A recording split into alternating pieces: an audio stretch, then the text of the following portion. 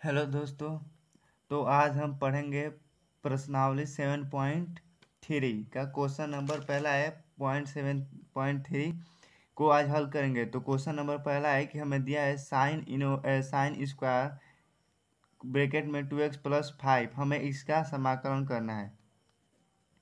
तो चलिए समाकलन करते हैं। तो जैसा कि अपने मैंने जो सूत्र लिखा हुआ था प्रश्नावली सेवन पॉइंट थ्री का, उसमें आपको बताया था कि यदि कहीं भी साइन स्क्वायर एक्स दिया गया हो तो उसके जगह पर हम लिखेंगे one minus cos two x बटे में दो, चूँकि इतना होता है। तो इसलिए साइन स्क्वायर के जगह पर हम लिखेंगे समाकलन साइन स्क्वायर के जगह पर लिखेंगे one minus cos two into x के जगह पर क्या है? पूरा यह एक्स की जगह पर है। इसको पूरा एक्स मान लेंगे, क्योंकि साइन के बाद एक्स ही आता है तो x equal to two x plus five मान लेंगे। तो यहाँ पर एक्स इक्वल टू लिख लेंगे टू एक्स प्लस फाइव। हो गया ये आपका, इसको हमने एक्स माना था। टू एक्स प्लस वन को एक्स मान लिया तो ये हो गया आपका, और बटे में आपका हो जाएगा दो, और ये होगा समाकलन। D x into d x हो गया। तब क्या करेंगे कि इसको हम अलग अलग करके लिख लेते हैं।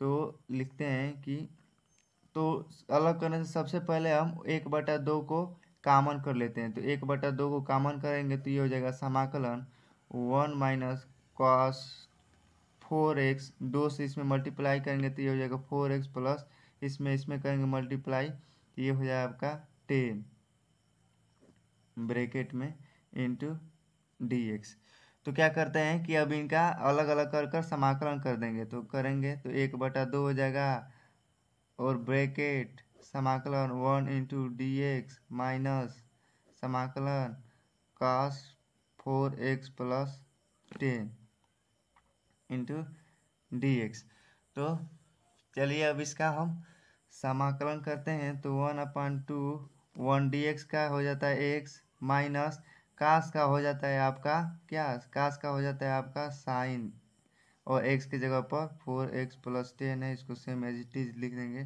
और प्लस सी। तो ये आ गया आपका समाकलन करने पर इतना आंसर। तो चलिए नेक्स्ट क्वेश्चन देखते हैं। अब क्वेश्चन नंबर दूसरा।